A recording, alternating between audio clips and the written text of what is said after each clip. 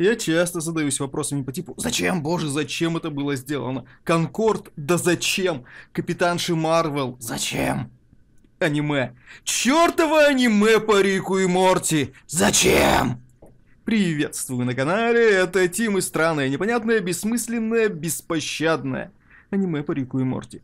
Франшиза, надо сказать, уже не так популярна, как раньше, хайп спал, интересы сместились, но это все еще довольно неплохой мультфильм со своеобразным визуальным стилем. Но-но-но.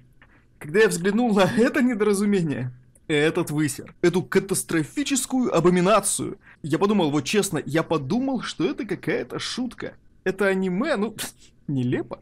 Даже сам опенинг выглядит как пародия на анимешные опенинги, причем не ироничная. И думаю, первая проблема уже очевидно бросается в глаза. Когда речь заходит об аниме, как правило, ждешь определенный визуальный стиль. Отрицать не буду, существуют режиссеры, выходящие за его пределы. Но то скорее исключение, нежели правило. Тут же будто взяли оригинальный сериал и ослабили без того непритязательную картинку процентов на 20, все. И тут э, всех прям почему-то очень отталкивающие, отвратительные, в худшем смысле этого слова, зубы. И знаете, что указывает на анимешность данного проекта? Плохая, очень ленивая анимация.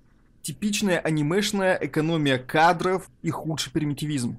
Если говорить о сюжете, это мог бы быть очередной сезон Рика и Морти, не такой интересный, более унылый, с хаотичным повествованием и сквозным сюжетом. Тут нет ощущения тех самых приключений на 20 минут. Это просто посредственный мульт с посредственной визуальной составляющей, не более того. Что еще более отвратительно – создается четкое ощущение, что ты как в каком-нибудь Blame упускаешь процентов 40 сюжета, а то и больше, потому что, ну вот как-то так его вырезали, быть может это очередная невероятно творческая цензура от медиатеки. Да, тут есть некоторая задумка, ибо один из персонажей воспринимает время иначе, но мы-то нет. И реклама ставок в различных переводах, которые я смотрел, выглядит максимально органично, потому что этот сериал, ну, вполне мог себе позволить такое и в оригинале. Я вот некоторое время сидел и ждал, что это все одна большая наебка. Появятся настоящие Рик и Морти, которые выбьют все дерьмо из этих местных подделок. Тут штук, не знаю, 5-6 каких-то реальностей, вот вроде бы наш с вами Рик, или не он, хотя прическа та же, или он, или что, или как. А вот одни события, а потом вторые, а потом третьи. Это разные временные линии, это разные вселенные, или просто авторы настолько плохи в нарративе.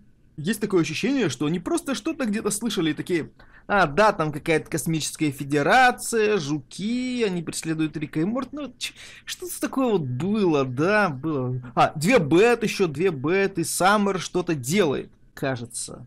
Ах да, Морти, Морти нравится девушка, пусть тут будет девушка. Но выглядит она тоже по-разному. Тут несколько Риков, несколько Морти, несколько реальностей. И все это подается очень хаотично, очень в разнобой. Я не имею ничего против непоследовательного повествования, как концепции. Мементо Нолана отличный фильм, вот только местный режиссер далеко не Нолан. Кстати, а помните, вот был, был президент США, который с Риком как-то взаимодействовал. Так вот, тут есть президент США, который с Риком как-то взаимодействует. Именно вот подобным образом, без конкретики. И самое нелепое в том, что в происходящем нет никакого смысла. Вещи просто ну, случаются как-то, зачем-то, почему-то. Нет, ну, Намек на сюжет тут есть, справедливости ради, я просто высказываюсь о нем крайне пренебрежительным образом. Может, я опять что-то не понимаю, как мне часто говорят. А вот на IMDb, на IMDb у сериала 2,7 из 10, черт возьми. Ну, то есть, надо понимать, что на IMDb, как правило, рейтинг заметно выше, чем реальные ощущения. Сайт такой очень лояльный, но, боже мой, это просто несмотрибельное говнище. На этом, пожалуй, у меня все. Подписывайтесь на канал и Boosty. Спасибо за внимание и пока.